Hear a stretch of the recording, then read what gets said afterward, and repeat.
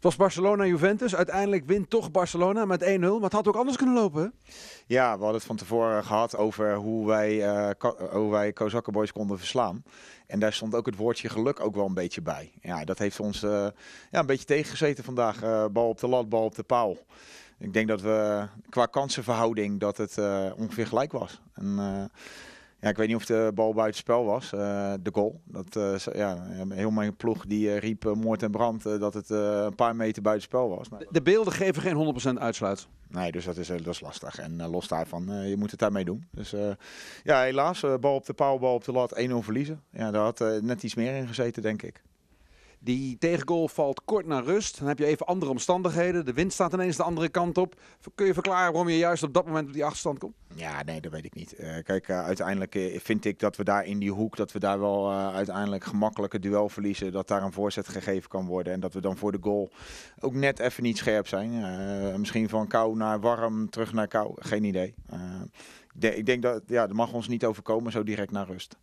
Het interessante is, ja, je moet dan natuurlijk je plan overboord gooien en plan B gaan hanteren.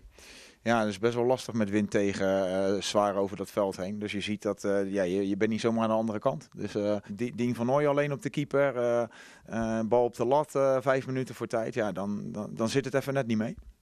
Dat is de conclusie, denk ik. Hè? Het zat even net niet mee, maar het, maar het spelplan wat jullie hadden van tevoren werkte eigenlijk wel. Ja, ik denk dat eh Kozakken Boys, eh, ja, die hebben het ook gewoon, eh, gewoon goed gedaan. Hè. Het is gewoon een goede ploeg. Dus kijk, je, je verdient het niet om te winnen. Ehm, maar er had vandaag wel een puntje in gezeten. En ja, verdienen, onverdiend of verdiend bestaat niet. Dus je kan nu teleurgesteld, teleurgesteld zijn, wat ik ook ben. Maar ik vind wel dat we gewoon gestreden hebben. En dat we wel als ploeg dat hebben gedaan wat we, ja, wat we van tevoren bedacht hadden. Die strijd, die noem je. Hè? Het was af en toe mes tussen de tanden. Eh, Mendes gaat eraf met een blessure. Daarna werd het ook even onvriendelijk. Daarna een fase viel dat weer mee, werd het weer rustiger. Wat zag jij gebeuren? Ging het over het randje? Bij, bij eh, Achie? Nou ja, die situaties eh, begin tweede helft, toen er ook op een gegeven moment een opstootje ontstond. Of is dat part of the deal? Nou ja, ik, eh, we hebben allemaal, eh, ik zei het, we hadden het er van tevoren over. We hebben Tottenham Juventus gezien.